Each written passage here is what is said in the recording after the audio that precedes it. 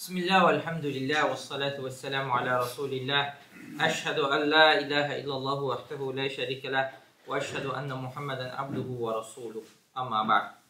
Allahdır. Deməli, bütün məsələ Allahdandır və Allaha qayıdır.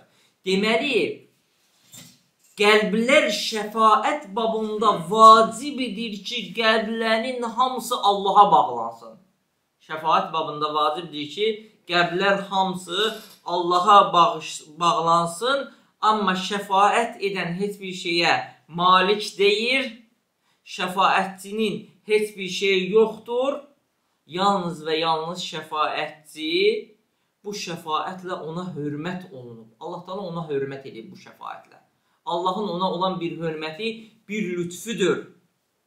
Allahın özünün bu şəfaətə ehtiyacı yoxdur. Allah Taala şəfaətsiz də istədiyini bağışlayar, istədiyinə rəhm eləyər, istədiyini cənnətə qoyar, cəhənnəmdən çıxardar. Şəfaətsiz. Allah Taala hər şeyə qadirdir. Allah Taalanı heç kəs aciz qoya bilməz. Lakin Allah Taala istəyir ki, bu şəfaət edəni hörmət eləsin, onun qədrini məxluqların içərisində qaldırsın və onun şəfaətini qəbul eləsin şəfaətçi edəndən sonra onu. Başa düşdünüz də? Yəni burada şəfaət edənin yeri, məqamı nədir? Allah Taala onu hörmət edib. Allah Taala ona lütf eləyib ki, məxluqların içində onu neynəsin? Onun hörmətini, onun Allah qatında əzizliyi, əziz olmasını, hörmətli olmasını məxluqlara göstərsin. Yoxsa yəni şəfaət edən Allahın iradəsini dəyişə bilməz. Deməli, qardaşlar, bu məsələ çox mühüm məsələdir. Kim bunu gözəl şəkildə haqqı ilə fəhm eləsə, Allahdan qeyrisinə bağlanmağı qəlbindən silib apa atar. O şəxslər ki, qəlbləri şəfaətçilərə bağlanıb, onlardan asılıdır. Birinci etiqad, birinci bu fasid əqidəni etiqad elədilər. Və etiqad edədilər ki, Allah qatında axirətdə olan şəfaət insanların dünyada bildikləri şəfaət kimidir. Ona görə də misal çəkirlər ki, sən deyir sultanın yanına girməmişdən necə birdən-birə ondan nəsə istəyə bilərsən? Sən onun köməkçisinin yanına getsən, o da gedir ona. Görürsüz nətər? Etiqad elədilər ki, bu fasid əqidəni ki, elə bildilər ki, Allah qatında qiyamət günü olunan şəfaət bu dünyada məxluqun məxluqa etdiyi şəfaət kimidir. Və biz də dedik ki, bu ən batil şeydir. Çünki, çünki, niyə görə ən batil şeydir? Dünyada olan şəfaətçi şəfaəti qəbul edənə möhtac deyil. Amma axirətdə olan şəfaət edən Allaha möhtacdır. Elə deyil. Hər kəs Allaha möhtacdır. Allah o yaradıb, Allah o şəfaətçi olmağa müvəffəq edib, Allah ona şəfaət etməyə əmr verib, Allah ona şəfaət etməsinə icazə verib, hədisdə gördüyümüz kimi ən əfsəl insan peyğəmbərdir. Hətta Allah Taala ona əmr eləyən sonra. Allah Taala öz lütfi ilə şəfaət şəfaət istəyənə şəfaəti qəbul edib, onu bağışlayıb. Deməli, dünyada olan şəfaətçi şəfaəti qəbul eləyənə möhtac deyil. Amma Allah qatında isə belə deyil. Dünyada olan şəfaətçi, yəni şəfaəti edən, şəfaəti qəbul eləyənin qəlbini şəfaəti qəbul etmək üçün hərəkətə gətirən odur. O şəf, o dünyadakı şəfaətçi vadar eləyir ki, şəfaəti qəbul eləyən şəfaəti qəbul etsin. Nə hansı səbəblərə görə o səbəblərdə əvvəldə zikr elədi. Amma Allah qatında belədirmi? Yox. Allah Taala heç icazə verməsə heç kim bir fısıltı da eləyə bilməz Allah qatında. Allah Taala bütün bu naqisliklərdən uzaqdır. Və sonra üçüncü dedi ki, dünyada olan şəfaətçi, yəni şəfaət edən dünyada şəfaəti qəbul edənin nə izni, iz, həm izni olmadan, həm də əmri olmadan mütləq olaraq şəfaət eləyə bilir. Amma bu Allah qatında mümkün deyil, olmur. Allah Taala icazə verməlidir və əmr eləməlidir. Rəbb Rəbdir, qul da quldur. qulun mənziləsi nə qədər uca olursa olsun, bunu biz bilməliyik. Dördüncü isə ola bilsin ki, yəni dünyada olan şəfaətçi, dünyada olan şəfaətdə şəfaət istəyən şəfaət istəyən həmin şəfaətə layiq birisi deyil. Amma şəfaəti qəbul eləyəni, şəfaəti qəbul eləyən, şəfaət edənin onu barədə şəfaətini qəbul eləyir. İstəməsə də, qəzəblənsə də, o layiq olmasa da. Amma Allah qatında iş elə deyil. Allah Taala kimdən razıdırsa, yalnız onun üçün şəfaət olunur. Ancaq təvhid və ixlas əhlindən. Allah istəmədiyi şəxsə şəxsin şəfaət olunmur. Deməli bilməliyik ki, Rəbb Rəbdir, qul da quldur. Qulun mənziləsi nə qədər uca olursa olsun, insan həmişə bunu zikr etməlidir, bunu düşünməlidir ki, Rəbb Rəbdir, qul quldur. Qəlblərin hamısı hər şeyi əlində olana bağlanmalıdır. Bütün bağlanmağımızı ona yönətməliyik. Qəlbimizi yalnız ona bağlamalıyıq. Sonra şəfaətdə qəlblərini bağlayanlar bəla üstünə bəla gətirdilər. Necə ki deyilir, bu şəfaətçilərdən bu şəfaətçilərə bağlandılar. Şəfaətçilərə bağlandılar. Və məhəbbəti, təmiz, saf, təmiz, saf məhəbbəti onlara sərf etdilər. Hansı ki o məhəbbət yalnız Allah üçün olmalıdır qəlb bağlılığını onlara bağladılar və etiqad elədilər ki, hər şey bu şəfaət edənlərin əlindədir. Əgər bu şəfaət edənlər şəfaət etməsə, fəlakət baş verəcək. Etiqad eləmirlər, demirlər ki, Allah Taala bizə rəhm etməsə məhv olarıq. Yox, deyirlər ki, filan kəs şəfaət etməsə biz məhv olarıq. Ona görə görürsən ki, biri deyir ki, illəm təkun fi məadi əxizən biyədi əgər deyir axirətdə dönüş günü Peyğəmbər sallallahu aleyhi və səlləmə xitab eləyərək deyir ki, əgər deyir axirətdə deyir mənim əlimdən tutmasan fadlan, yəni özündən lütf olaraq mənim əlimdən tutmasan və illə fəqul yə zəllətəl qadəmi yoxsa vay deyir mənim halıma. Ayaqlar sürüşdü Demir ki, Allah Taala məni rəhm etməsə, Allah Taala məni bağışlamasa, Allah Taala günahlarımızı əfv etməsə, ya zəllətəl qədəmi, vay bizim halımıza ayaqlar getdi, süşdü, vay bizim halımıza deyir ki, əgər deyir qiyamət günü deyir, özündən lütf olaraq mənim əlimdən tutmasan, vay deyir bizim halımıza. Subhanallahul azim. Baxın görün, qəlblər şəfaət edənə necə bağlandı? Necə bağlandı? Əslinə şəfaəti qəbul edənə, Allaha bağlanmadı. Ona görə ey Allahın qulları, Allah Taala deyir ki, "Qul lillahi şəfaətu cəmi'a." Deyir ki, şəfaətin hamısı Allaha məxsusdur. Bunlar hamısı Allahındır. Bu şəfaət hansı ki siz başa düşürsüz və təsəvvür edirsiniz, dünyada olan insanların olan şəfaətini təsəvvür edirsiniz, bunu mütləq silməliyik zehnindən silməlisən tamamilə, ey Allahın qulu. Bunu zehnindən silməlisən ki, necə ki, dünyada olan şəfayəti Allah qatında olmasını zehnindən, fikrindən silməlisən. Allah Taala deyir ki, "La bey'un fihi və la xullətun və la şəfa'a." O gün alış-veriş, dostluq, şəfaət yoxdur. Silməlisən. Bu şəfaəti Allah Taala inkar eləyir. Bu mümkün deyil, bu yoxdur baş verməyəcək Allah qatında bu şəfaət. Bu şəfaət Allah qatında baş verməyəcək. Və lə şəfaə, şəfaət yoxdur. Baxın, biri deyir, şübhə gətirirlər və deyirlər ki,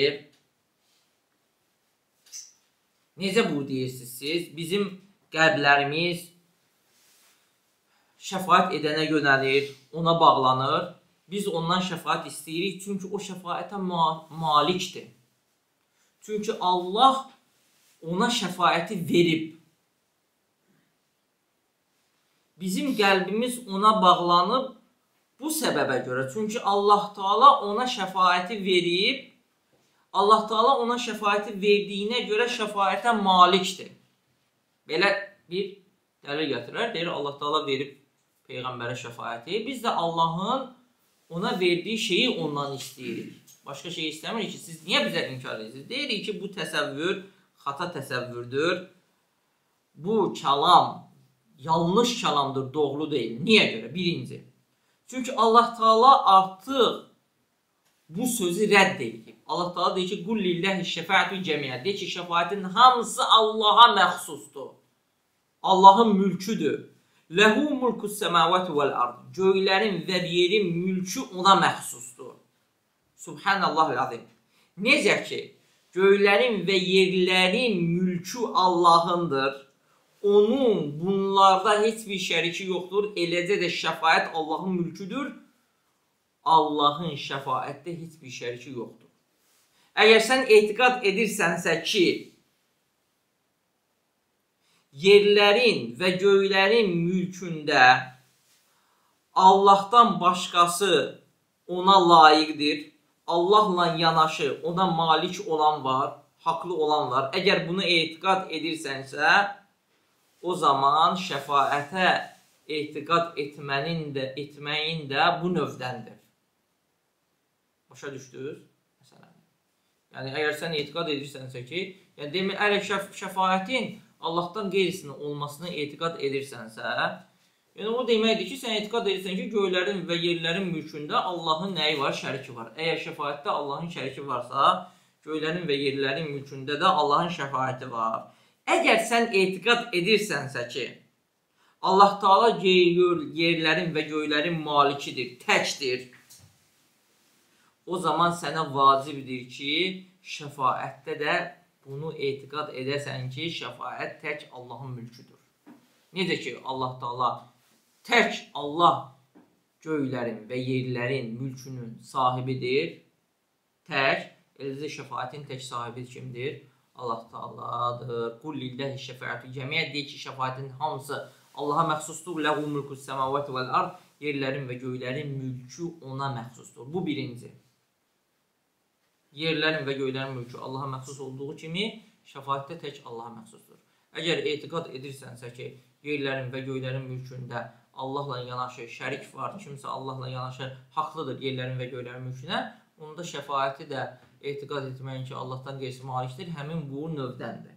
Yox, əgər etiqad edirsənsə ki, yerlərin və göylərin mülkündə tək Allahdır sahibi, maliki, onda etiqsə vacibdir, etiqad elə eləməlisən ki, tək şəfaətə haqqı olan, malik olan kimdir? Allah subhanahu və taala. Bu birinci. İkinci, Allah Taala şəfaət edənə axirət günü icazə verəcək ki, şəfaət etsin. Deməli, şəfaət edən kimdir? Allahdır. İcazə verən şəfaət etməyə kimdir? Ahirətdə Allahdır. Amma bu dünyada isə ona şəfaət etməsinə icazə verməyib. Yəni, o insan ki, gəlir Peyğəmbərin qəbrinə və yaxud hansısa övliyanın qəbrinə, ondan şəfaət istəyir, ona deyildiyi zaman ki, ey Abdullah, şəfaəti şəfaətə sahib olandan istə, malik olandan istə. Demə ki, ey Allahın elçisi, Allah qatında mənə şəfaət et. Lakin de ki, ey Allahım, Peyğəmbərini mənim üçün şəfaətçi et. Yəni, fərqə baxın, iman və tohidlə şirk və iman və küfürlə şirk və İslamın arasında olan fərq. Fərq var ki, deyəsən ki, ey Allahın elçisi, yəni insan gedir, bə bəzi insanlar, Allah bizə və onlara hidayət eləsin, Allah Taala bizim qəlblərimizi haqqa açsın və bizi öz yolunda vəsilətli etsin. Gedir Peyğəmbər sallallahu əleyhi və səlləm qəbrinə deyir ki, ya Rasulullah, Allah qatında mənə şəfaətçi ol. Bu yanlışdır.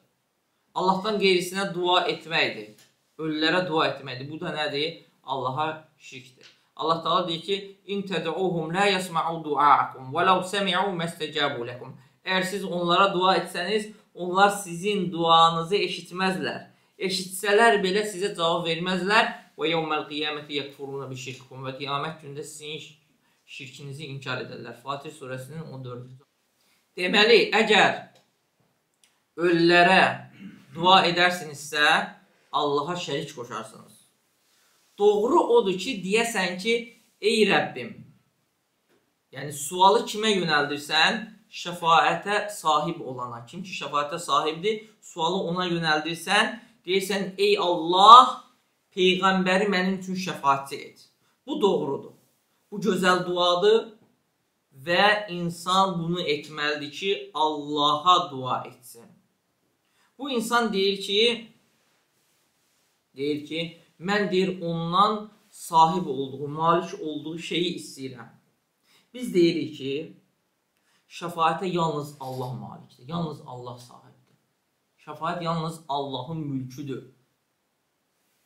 Sonra Allah Taala həmin şəfaətə qiyamət günü icazə verəcək. Bu dünyada icazə verməyəcək. Sonra Allah Taala şəfaətə bəzi şeylərdən sonra icazə verəcək. Hansı ki peyğəmbər onu eləyəcək, ondan sonra icazə verəcək. Keçən hədisdə kim gedəcək, ərşin altında səzdə eləyəcək, Allaha həmd və sənalar eləyəcək. Sonra Allah Taala ondan sonra şəfaətə icazə verəcək.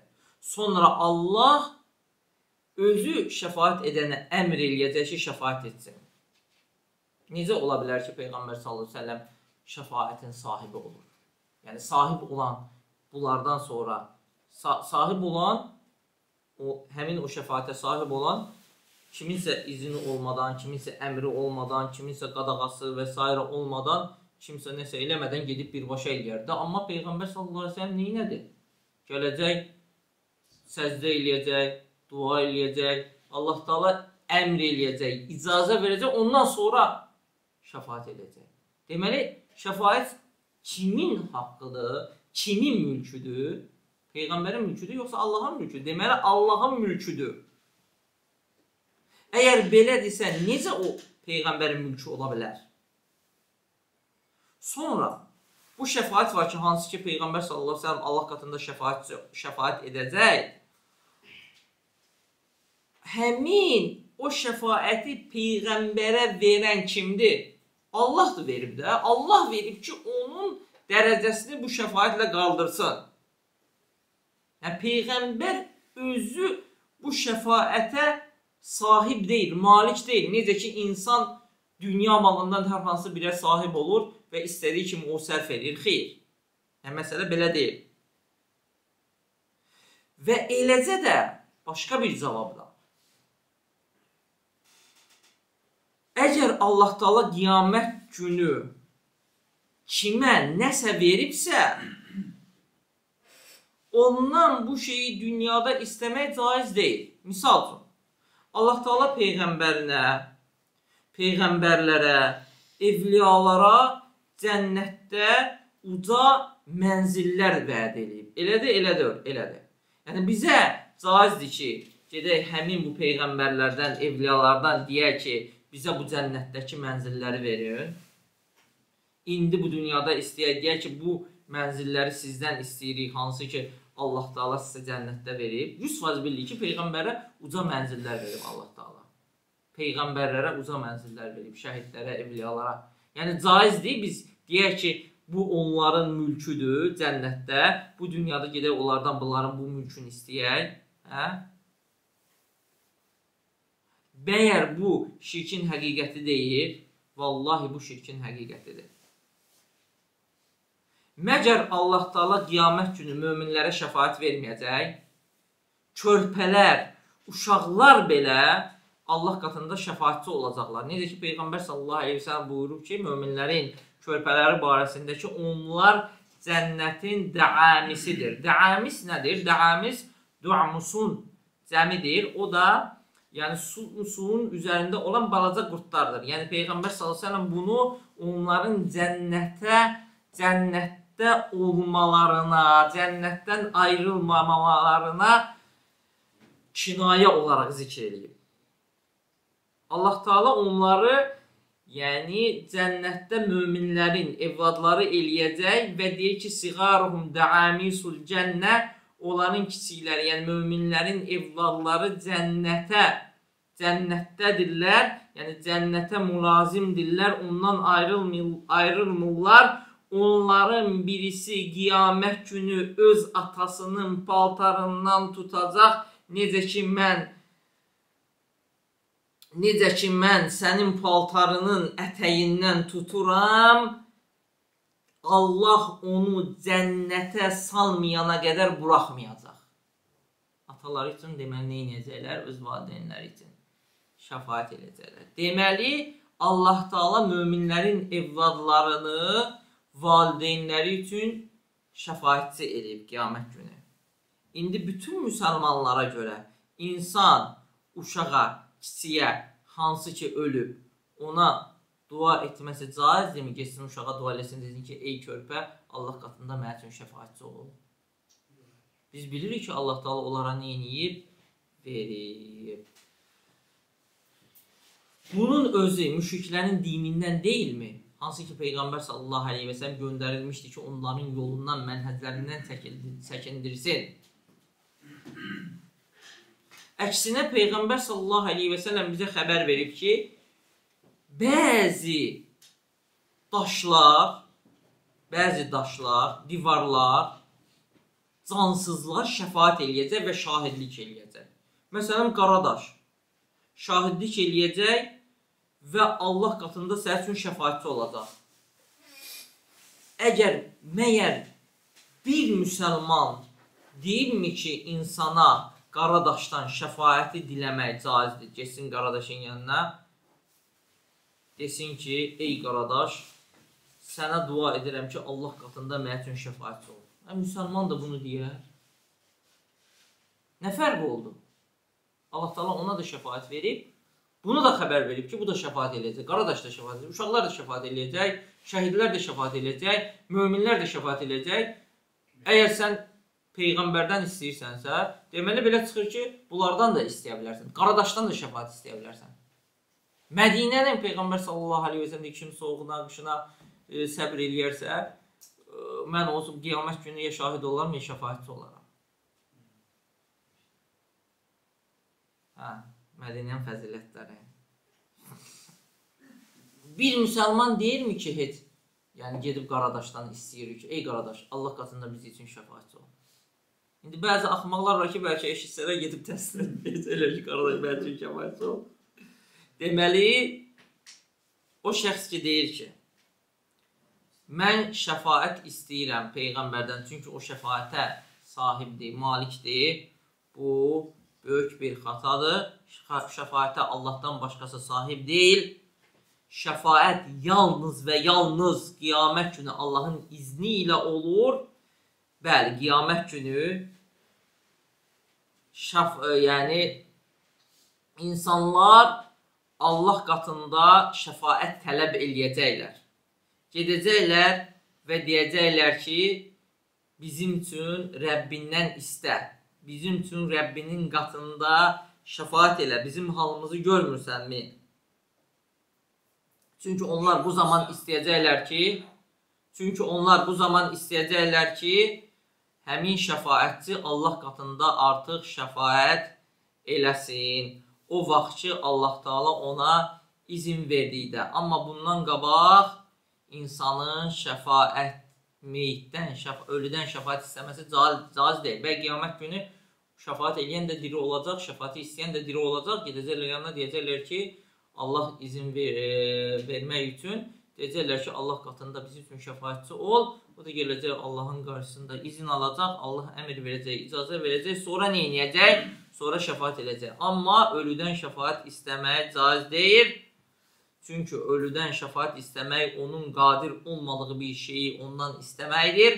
Bu da Allaha şirkdir. Və Peyğəmbər sallallahu aleyhi və səlləm deyib ki, İzə mətəl insan inqata anhu aməluhu illə min sələs. İnsan öldüyü zaman əməl dəftəri bağlanır üç nəfərdən başqa. Deməli, ölü sənə şəfaət etməyə sahib deyil, malik deyil. Ölü qəbrində sənin üçün nəsə istəməyə malik deyil. O zaman ey Allahın qulu əzəmətli Allaha yönəl, hansı ki, hər şeyin səltənəti onun əlindədir, hansı ki, deyir ki, və izə səələkə ibadi anni fə inni qarib. Qullarım səni, qullarım məni səndən soruşduqda mən yaxınam. Nə dedi? Dedi ki, mənim şəfaətçiyə və vasitəçiyə ehtiyacım var? Yox, dedi ki, yox valla. Dedi ki, fə inni qarib, mən yaxınam. Ucibu dəvətə də'i izə dəən, dua edənin duasını qəbul edərəm. Demədi ki, mənim vasitəçi ilə gəl yanıma, mənim şəfaətçi ilə gəl yanıma. Bəqərə surəsinin 187-ci ayəsi. Deməli, qəlblərə vacibdir ki, qəlblər tək Allaha yönəlsin, Allahdan yapışsınlar və vacibdir ki, qəlblərdə Allahın məhəbbəti olsun hər şeydən. Savayı Allahın məhəbbəti olsun. Yəni Allah qəlblərdə hər şeydən daha sevimli olsun. Hansı ki, qəlblər onu arzulayır, ona ümid bağlayır bütün başqa şeylərdən və ondan daha çox qorxur istəyini, yardım diləməyini, duasını, hamısını tək Allaha yönəldir, başqasına yönəltmir. Tohidin həqiqəti də budur, imanın həqiqəti də budur. Hansı ki, Peyğəmbər sallallahu əleyhi və səlləm bununla göndərilib. Amma Allahdan qeyrisinə bağlanmaq bu şişdir. Hansı ki, Peyğəmbər sallallahu əleyhi və səlləm bunu bəyan etmək və çəkindirməklə göndərilib. Deməli, şəfaətdə biz artıq nə hansı məsələ bizə aydın oldu və hansı məsələyə gəlib çatdıq ki, şəfaət Quranda varid olması olması tərəfdən iki qismdir. Şəfaət Quranda varid olması tərəfdən iki qismdir. Necə ki müəllif zikr elədi. Birinci inkar olunan şəfaət, ikinci isbat olunan şəfaət. İnkar olunan şəfaət nə idi? Yəni bu şəfaət baş verməyəcək. Bu şəfaət insanların zehinlərində təsəvvür etdikləri şəfaətdir. Bu dünyadakı olan şəfaət məxluqun məxluqa olan şəfaətidir. Şəfaətidir. Bu baş verməyəcək həqiqətdə bunun yəni vücudu yoxdur. Bu surətdə bu şəfaət inkar olunur. Bu şəfaətin də bir neçə surəti var. Hansı ki inkar olunan şəfaət. Birinci surəti odur ki, Allahın razı qalmadığı şəxs üçün olunan şəfaət. Yəni şəfaəti istəyən ondan Allah razıdır. Onlar da kimdir? Kafirlərdir. Kafirlər üçün şəfaət yoxdur. Allah Taala onlar barədə şəfaəti inkar eləyib. Kafirlər üçün Allah qatında heç kim şəfaət etməyəcək, yalnız istisnadan başqa ki, o da Allah Taala bir tək peyğəmbərinə ikram edərək əmisi Əbu Talibin əzabını yüngülləşdirməkdən ötürü ona şəfaət etməsinə icazə verib. Bu da ancaq əzabını yüngülləşdirməkdən ötürüdür. Oddan çıxmasından ötürü deyil. Bir tək istisna olunan kafirlərdən odur. Amma ondan başqa olan bütün kafirlər isə onlar üçün şəfaət yoxdur. Bu birinci. İnkar olan şəfaət hansılardır? Kafirlərdə olan şəfaət. Amma dünyada isə problem deyil. İkinci, o şəfaəti Allah Taala inkar eləyib ki, hansı ki zənn olunur ki, o şəfaət Allahın iznisiz baş versin. Allahın izni olmadan baş versin. Yəni insan birbaşa Allahın qarşısında keçsin, Allah icazə vermədən şəfaət eləsin. Bu da mümkün deyil. Çünki Allah Taala deyir ki: "Mən zəlləzi yeşfa'u indehu illə bi'izni." Onun izni olmadan onun qatında kim şəfaət edə bilər? Hə? Həm inkardır, həm də nədir? Hədələməkdir, meydan oxumaqdır. Üçüncü, Allahdan qeyrisindən tələb olunan şəfaətdir. Bu da inkar olunan şəfaətdir. Çünki Allah Taala artıq hökm verib, o hakimlərin hakimidir. Allah Taala hökm verib ki, şəfaət onun mülküdür, onundur, tək onundur, ona məxsusdur. Qul lillahi şəfaətü cəmiyyət. Deyinən ki, şəfaətin hamısı Allaha məxsusdur. Ona görə şəfaəti kimdən istəməlisən? Allahdan istəməlisən, başqasının başqasına şəfaət məxsus deyil. Dördüncü, insanların dünyada bildikləri şəfaət, rəğbət, ümid və qorxu şəfaəti və hörmət və məhəbbət şəfaəti və yaxud hörmət və yəni ümid və qorxu, e, yəni ümid və qorxu şəfaəti və yaxud hörmət, izzət və məhəbbət şəfaəti bu şəfaət də inkar olunan şəfaət şəfaətdir. Yəni Allah qatında belə şəfaətin olmasını zənn etməkdən çəkin. Deməli, bu şəfaət də inkar olunan şəfaətdir. Allah deyir ki, "Lə bey'un fihi və la qullatun və la şəfaə." Nə alış-veriş, nə dost, nə də şəfaət yoxdur həmin günü. Amma isbat olunan şəfaət isə o şəfaətdir ki, o şəfaət qiyamət günü olacaq və bu şəfaət səhihdir və sabitdir, lakin iki şərtlə. İki şərtlə. Birinci, Allah Taalanın şəfaət edənə şəfaət etməsi üçün icazə verməsidir. İkinci də Allah Taalanın şəfaət olunandan razı qalmasıdır. Yəni şəfaət istəyəndən razı qalmasıdır. Kimin üçün şəfaət olunubsa, ondan razı qalmasıdır. Allah Taala deyir ki: "Və kam min mələkin fis-semavati la tughni şəfaətuhum şey'ən illə min ba'di en ya'zanallahu limen yasha'u və yarda." Fikir verin, deyir ki: "Və kam min mələkin fis-semavati la tughni şəfaətuhum şey'ən illə min ba'di en ya'zanallahu limen yasha." Bu bir. Və yarda bu iki. Allah Taala deyir ki, göylərdə neçə-neçə mələklər vardır ki, onların şəfaəti heç bir fayda verməz. Ancaq İllə min bədə əyyəzənəllahu limən yeşə. Ancaq Allah öz istədiyi illə min bə'di əyyəzənəllahu limən yeşə. Allah Taala öz istədiyinə izin verdikdən bu bir və yarda və, və razı qaldıqdan. Razı qaldığından bu da iki. Başqa. Yəni Allah Taala deyir göylərdə neçə-neçə mələklər vardır ki, onların şəfaəti heç bir fayda verməz. Ancaq Allah öz istədiyi bu bir və razı olduğu kimsəyə öz istədiyi və razı olduğu kimsəyə izin verdikdən sonra. Deməli Allah Taala nə etməlidir? İllə min ba'd əyyəzən Allah. Allah Taala izin verməlidir və nə edir? Şəfaətə izin verməlidir və şəfaət ediləndən razı qalmalıdır. Yaxşı, Allah Taala kimdən razı qalır? Kimin üçün şəfaət olur? Olunur. Cavab odur ki, Allah Taala yalnız və yalnız təvhid əhlindən razıdır, başqalarından razı deyil. Peyğəmbər sallallahu əleyhi və səlləm o sadiqul masduqdur artıq xəbər verir ki, likulli nəbiyyin da'vatun müstəcəb bütün peyğəmbərlərin müstəcəb duası var. Bütün peyğəmbərlər öz dualarını bu dünyada ediblər və deyir ki, mən öz duamı qiyamət günü ümmətim üçün şəfaətə saxlamışam. Ümmətimə şəfaət günü saxlamışam qiyamət günü öz duamı. Fəhiyyə nailətun inşaallahu mən mətə min ümməti la yüşriku billahi şeyən.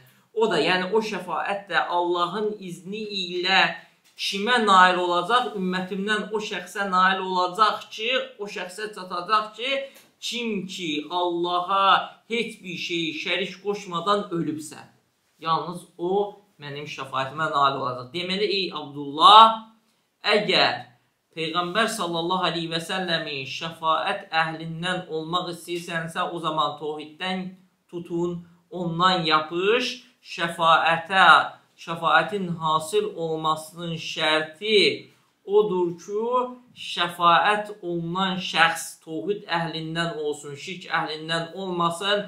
Necə də maraqlı və təəccüblüdür bu məsələyə fikir verin ki, həqiqətən bu məsələ maraqlı məsələlərdən, acaib məsələlərdəndir ki, insanlardan eləsi var ki, qəlbini şəfaətə bağlayır və qəlbini, yəni şəfaəti o səbəblə tələb edir ki, hansı ki o səbəbin özü onun şəfaətinə mane olmasına səbəbdir. Həqiqətən çox təəccüblüdür. Şəfaəti istəyir, şəfaətə tamahlanır, himməsi, arzusu şəfaətə yönəlib, yalnız şəfaəti necə tələb eləyir? Həmin o şəfaətə ona mane olmaq səbəblə, o səbəblə tələb eləyir ki, həmin o səbəb əslində onu həmin o şəfaətə nail olmasına mane olur. Necə? Allaha şərik qoşur şəfaəti Allahdan başqasından diləyir və elə bir şeyə düşür ki, onun səbəbi ilə şəfaətdən məhrum olur. Subhanallahul azim. Deməli, sənin o istədiyin, istədiyin şey ki var, ona hasıl olmaq istəyirsən, başva gəlsin. O da Peyğəmbər sallallahu əleyhi və səlləmin şəfaətidir və yaxud şəfaət edənlərin şəfaətidir qiyamət günü, günü. Bu şeyə yalnız və yalnız Allahın müvəffəqiyyəti və rəhməti ilə nail olarsan. Bu birinci. Allah sənə rəhm eləməsə, müvəffəq eləməsə, tohidə yönətməsə, imana yönətməsə müvəffəq olmazsan, ikinci də tohiddən yapışmaqla, qəlbini Allaha bağlamaqla, Allaha şərik qoşmamaqla, necə ki Peyğəmbər sallallahu əleyhi və səlləm deyir ki, o ümmətimdən Allaha heç bir şeyi şərik qoşmadan ölənə nail olacaq ona. Kimə? Nəyə? Şəfaətə. Deməli, bu sabit olan şəfaətdir, hansı ki Allahın iznindən sonra olacaq. Allah izin verəcək şəfaət edənə və bir də şəfaət olunandan kim ki şəfaəti istəyir, ondan razı olacaq. Amma inkar olunan şəfaət isə artıq keçdi. Bu günlük bu qədər kifayətlənək. Allah Taala bizə eşidib faydalanlardan etsin. Subhanakallahumma və bihamdik. Əşhədu an la ilaha illa ent, əstəğfiruka və etûbu ileyk.